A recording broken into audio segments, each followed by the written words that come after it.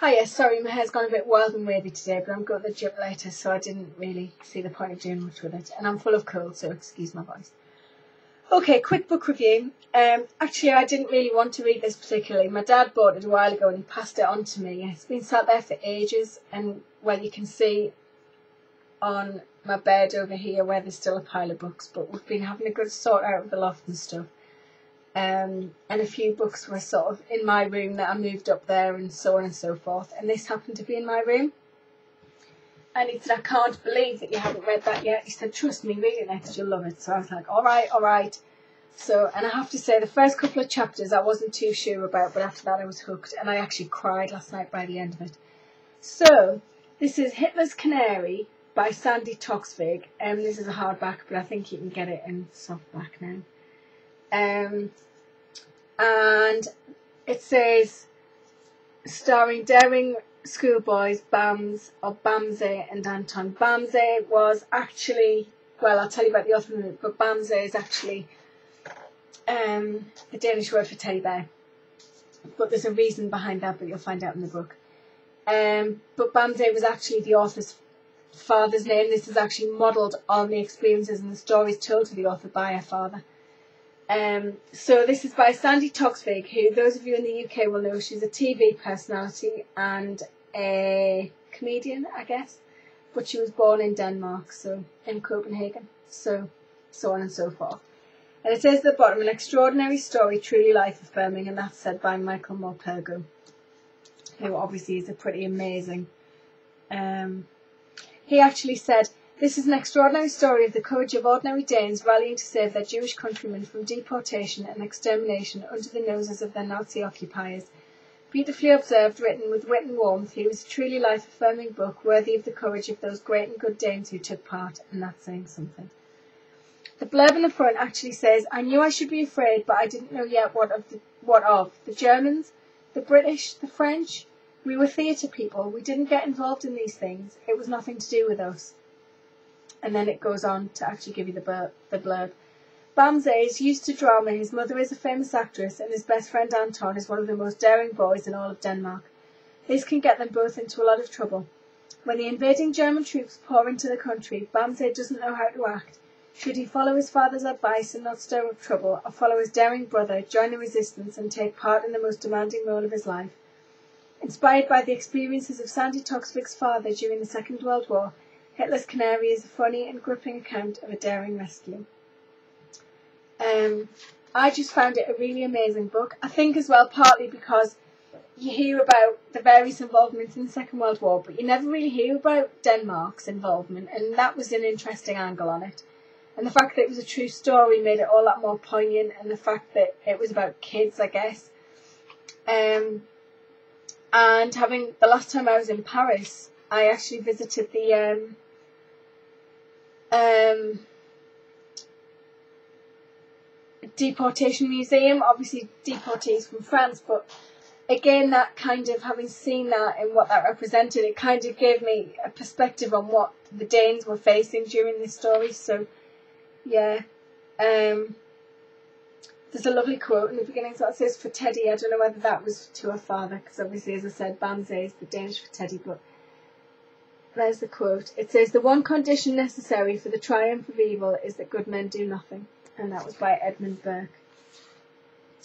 Um, the layout of the book is really interesting. Obviously, a, the theatre plays a big role in it because his mother was an actress. Um, and each chapter, instead of being set out as a chapter, is set out like this, like a, a take board, whatever you call them. So it says overture and beginnings, time and place, like a, a theatre. And then if I go to the second one so you can see, the second one then goes to Act 1, Scene 1, tells you the time and place, until by the end you have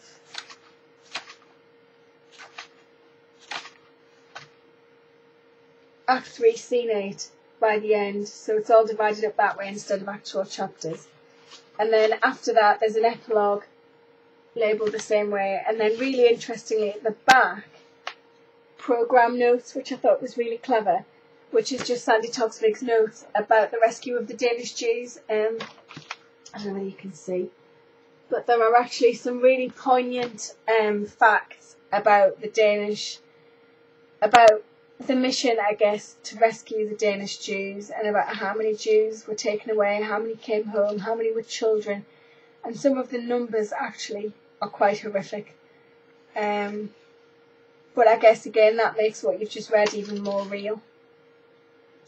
And then um, there's a bit here as well which was really touching, which goes on to say that it should be said that many of the Germans didn't obey their orders with regard to the Jews. Some did half-heartedly, some um, sabotage so that they actually couldn't follow their orders properly. Um, I won't tell you what it actually says because obviously if you read the book you'll find out. But and that was a really lovely take on it that there actually were some good Germans and some kind Germans who actually didn't believe in what they were being made to do, I guess. Um, and the suspense towards the end when the, I won't tell you what happens towards the end, but the suspense towards the end, you'll know when you read it that there was actually a part where I thought, oh, I don't know whether I can keep reading because I was so, you feel as if you know these people and you're so scared to find out what happened. And the other nice thing is there are little pictures, like here where the, the two boys are separated, there's a little picture of them hugging. I mean, obviously this is technically a kid's book. It, it says 9 to 11, but I don't know. Um, I suppose they would just take it as a, a wartime adventure story, you know, whereas obviously to those older, um, but yeah, it was. Um, there were some almost funny moments and some touching moments, and yeah, it's just, it's just a really good book. It's just a really, really good book, and I'm really glad that I read it. There was actually a lovely quote somewhere, but I'm struggling to find it at the moment.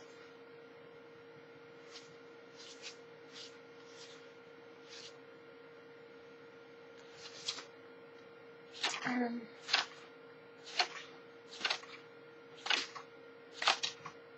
if I find it, I'll add it in the um, post note later, but you might come across it yourselves.